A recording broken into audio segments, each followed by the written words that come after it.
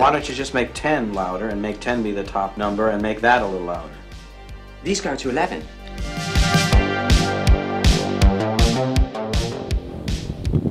What's going on guys? Welcome back to the channel. Welcome to today's video where we have some more exciting developments to talk about at the racetrack. I've got a mountain of bunker blocks. There's 30 of them and I've got two more 12 and a half foot jersey barriers coming to finish this wall and place a few on the infield to protect our awesome infield uh, cone chasers, volunteer, and staff. In the last video, we did a whole bunch of seal coating and crack filling on the track and this was really good to do, but when I was reading through the comments, I actually saw a comment in there that just said, why?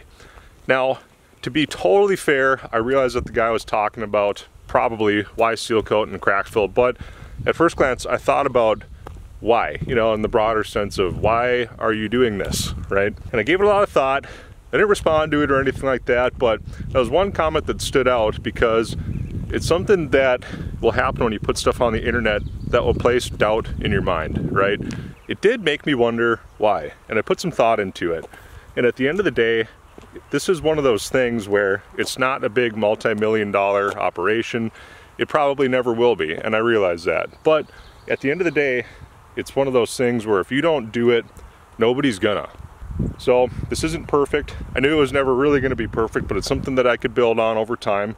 And our track record out here has shown that we can do it and we will do it and we'll continue to do it. We've had quite a few people travel from quite a ways away, you know, an hour, two hours that have been here multiple times, even already in our last two events. So it's pretty cool. I think it's a good sign that when people are coming back, you got something. You know, you're not paying people to come here, they're actually paying to participate. This is a functioning racetrack at the end of the day. I thought about it a lot, and recently I joined a Facebook group called something like Abandoned Race, Abandoned and Retired Racetracks, and the amount of tracks that are closed on there, you know, over the last, let's say, 100 years in the United States and abroad is startling. There's probably for every 100 or 200 tracks that have opened and closed, there's one still open is what it seems like. And that's anything from dirt track racing you know, down all the way up to road racing and drag racing. It's all sorts of stuff. They've got karting tracks on here, which this was at one point. So uh, the comments of people saying you should host karting out there have not gone unnoticed, and they're not um, maybe unironic. I guess maybe I'm saying that right. But yeah, I, I do realize that. And at the end of the day, karting is not something that I know anything about. It's not my world. And um, if people wanted to come out and kart or do anything out here, I'd be welcome to it. It'd be super affordable.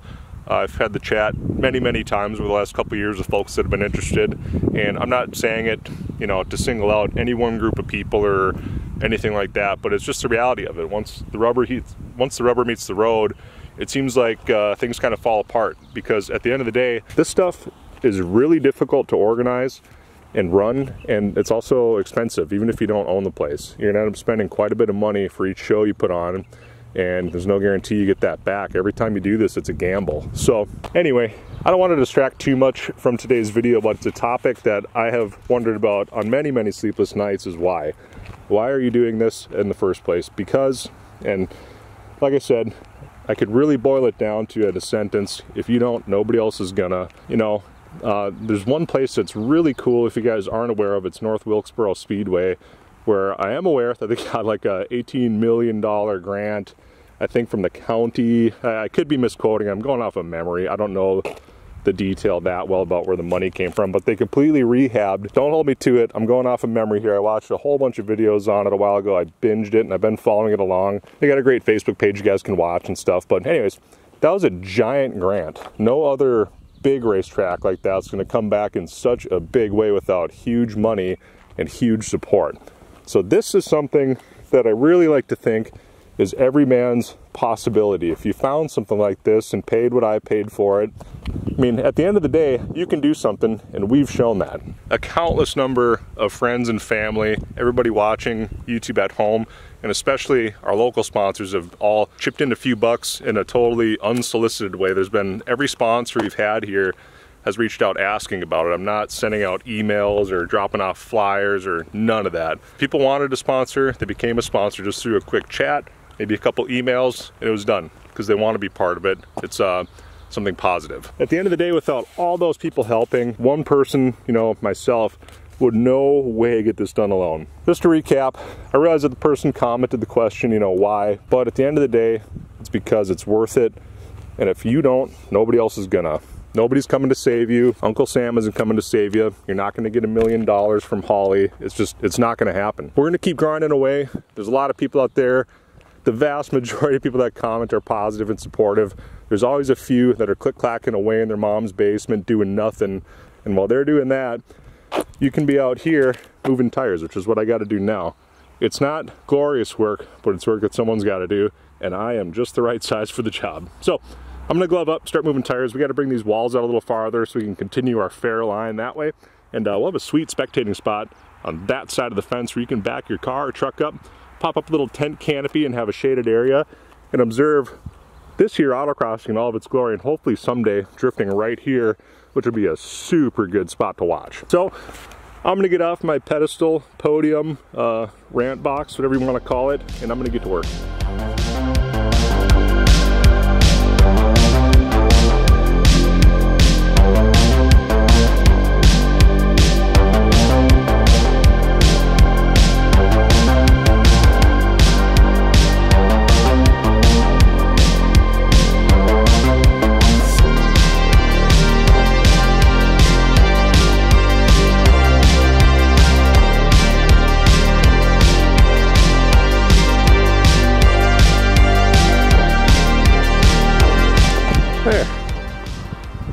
Was fun.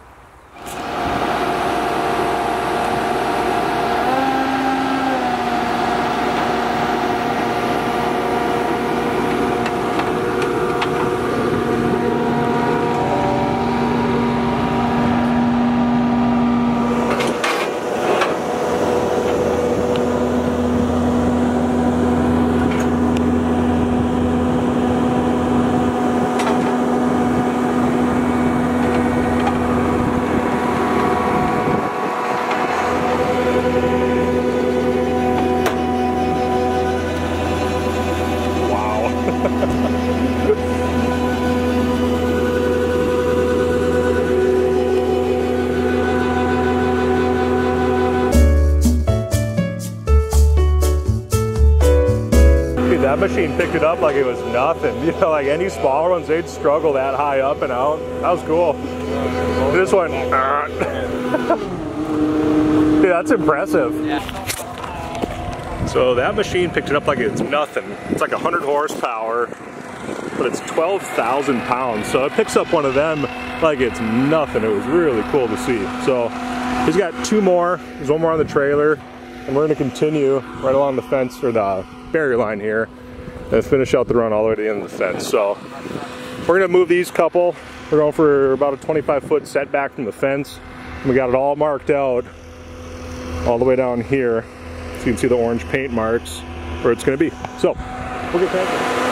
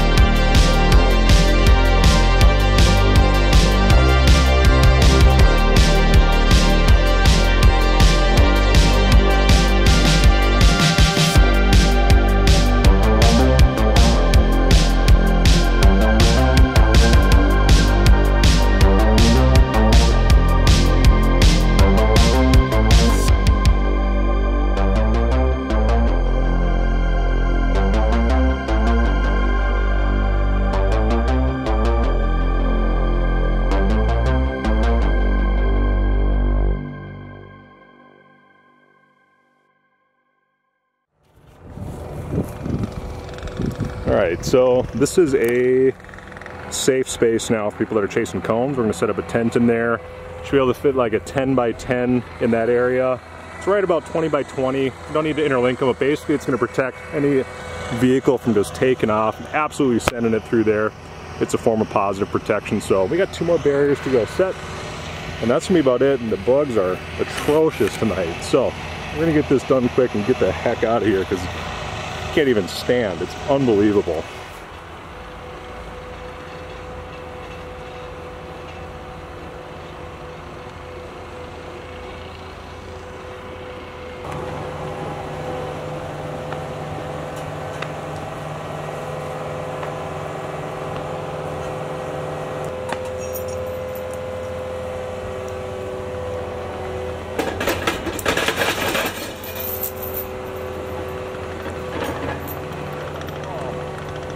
Right, so the idea being, uh, put those two there so nobody can just absolutely send it off into the uh, kind of entrance exit lane. It's a lot safer you know, than it has been. We'll keep improving over time. But we'll go do an outro and get the heck out of here because this is unreal. All right, sorry for abruptly cutting from our segment yesterday into what we got going on today. But like I was trying to say on camera, the bugs yesterday were worse than I've ever experienced in my entire life. I mean, you, you couldn't even breathe. But we finished out our barrier wall. We found another way that we can actually continue it uh, the rest of the way, which means back here these stake posts, where these fence posts are, at the prior event, as you would have seen on Autocross 1.0, if you've been here or watched the video, this was all taped off because you couldn't go in here. It was not a safe place to spectate at all because, you know, if somebody drove off track or whatever, there's a little ditch line, there was these tires, which frankly, tires really don't do much. They're more of a cushion against a solid object. They're not gonna stop something uh, alone. If anything happened, um, this was not a safe place to be. But what this means now that we got all the barriers in place is we can pull out all the fence posts along the road and cars can come on up in here and back up to the fence line and what that gives everybody is a really good spectating area with a great vantage point to the whole track especially when you're you know up here on a truck bed in a chair.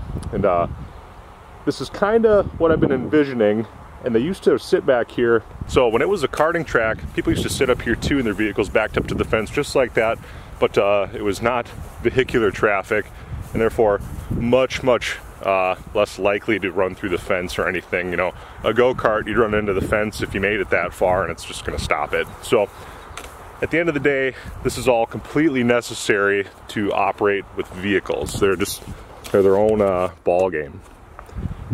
So we ended up setting 30 of these. They're about 4,000 pounds each, just under. The Jersey barriers are about 5,000, so they're less weight, but for the same distance, they're actually considerably heavier and they still interlink. People that uh, aren't familiar with bin blocks, there's a male and female side. It's actually linked like this. This would be considered male, female, and it continues all the way, so they're actually interlinked. So that's about that. Huge thank you to everybody that's been watching the videos lately. To everyone new that's been watching the channel, this place has came so far in the last two years, it's almost unrecognizable from how it was when I purchased it.